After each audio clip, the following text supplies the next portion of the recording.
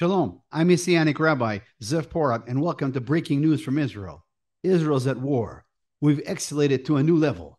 Thousands upon thousands of rockets are pounding Israel, south to north, north from the Hezbollah in Lebanon, and south from Gaza. Airplanes and helicopters flying over. What the world news is reporting is just a fraction of what's happening. It's much worse. As believers in Yeshua, we understand that this is Bible prophecy. We understand that the time is short. We understand that Yeshua is returning soon without setting any dates. And we understand that we're not dealing here with human beings, we're dealing here with demons. These Hamas and Hezbollah terrorists are not human, they are demons. It's the Chaldean spirit, it's the Amalek spirit. As time passes in the war, we're beginning to see more and more what these demons, Hezbollah and Hamas, did. We received some troubling emails from people that are saying that the Hamas did not chop off babies' heads. We have graphic pictures that they did chop off babies' heads. The IDF has pictures and videos that they did it, and so does the Israeli government. In this corner of this living room, we find a concentration of eight babies burned among 15 other people. think it's not a war. It's not a battlefield. You see the babies, the mother, the fathers in the bedrooms, in the protection rooms, and how the terrorists kill them. It's not a war. It's not a battlefield. It's a massacre. It's a terror act activity. And we got very, very disturbing reports of uh, that came from the ground that there were babies that had been beheaded.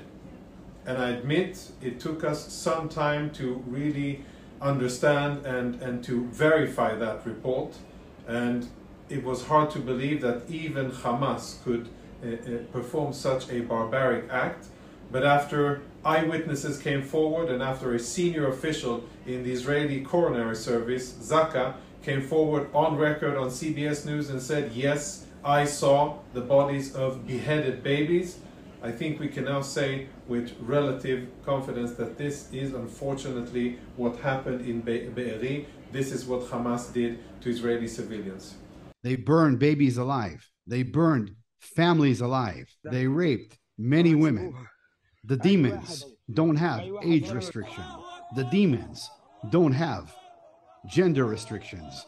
The demons, all they know is to destroy, and they're coming after Israel. And the real battle is over spiritual Israel, the body of Yeshua, the body of Jesus. Because Satan knows that his time is short.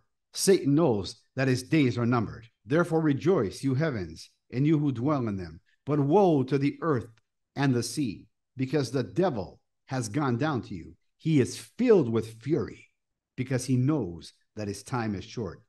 And these Hamas and Hezbollah killers and demons are exactly that. But the good news is that the God of Abraham, Isaac, and Jacob, Yeshua, Jesus, will prevail, as written in the Bible before the foundation of the world, that Satan and his demons will be thrown into the lake of fire. Tehillim, Psalms 83, verse 4. Come, they say, let us destroy them as a nation, so that Israel's name is remembered no more. This is what it's all about. It started in Israel and it's going to end in Israel. Yeshua is going to come back and his feet are going to land on the Mount of Olives. And this is why Satan and his demons want to destroy Israel. But the God of Abraham, Isaac, and Jacob says, I will protect Israel. Ultimately, Yeshua is going to destroy Hamas and Hezbollah, the demons. Yesterday, I visited with the team, a family that lives outside of Tel Aviv, and they were in the Ichilov hospital in Tel Aviv. The boy was 17 and the and the girl 18 years old who is serving in the IDF were hospitalized. They were both injured. The boy lost his leg.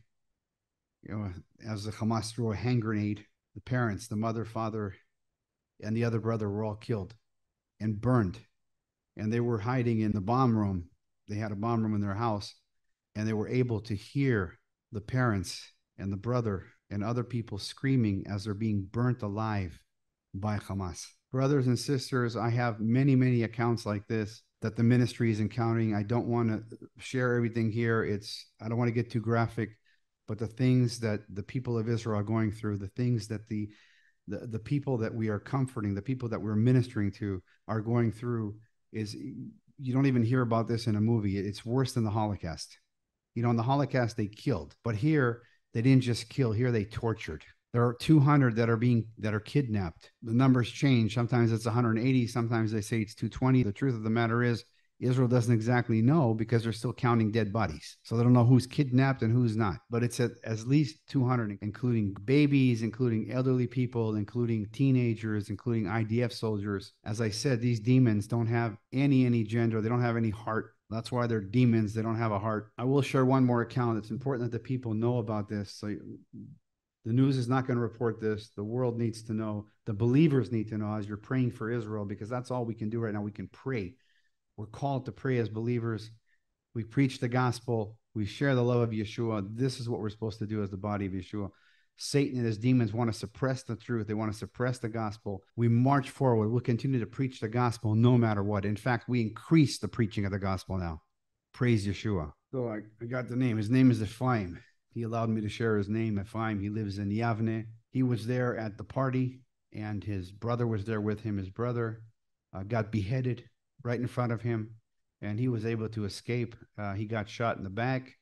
He was in the hospital for a few days. He's doing okay. So some they just shot, some they beheaded, some they shot and beheaded, some they burned. Horrific stories. They massacred a kibbutz. They massacred many settlements. They just went in there and destroyed and murdered and chopped people's head off and burned them alive and raped the women and killed babies. They took a jigsaw and they just cut an Israeli soldier alive into pieces in front of the family, in front of other people, and then they cut the family. You're not going to hear about this, but yes, they cut people with jigsaws alive. Children are hiding under beds.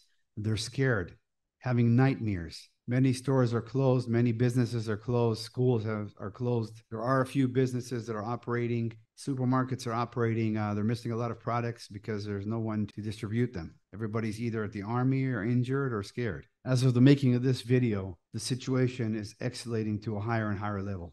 Everybody's waiting for the Israeli IDF to go inside Gaza. One thing is certain when they do go in, Yeshua HaMashiach will protect them. The IDF soldiers of Israel are ready. They're going to destroy Hamas. Isaiah 44, verse 6. The Lord who rules and protects Israel, the Lord Almighty, has this to say I am the first and the last, the only God. There is no other God but me. Hamas, Hezbollah, the demons and Satan are going to learn that Yeshua is the King of Kings and Lord of Lords. And those who touch Israel touch the apple of God's eye. Zechariah, Zechariah 2, verse 8.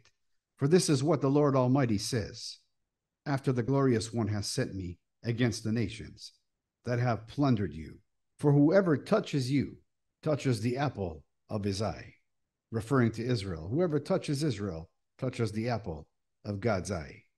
So Hamas and Hezbollah are in a dangerous position because now they have to deal with the God of Abraham, Isaac, and Jacob. Unfortunately, there'll continue to be many casualties in this war.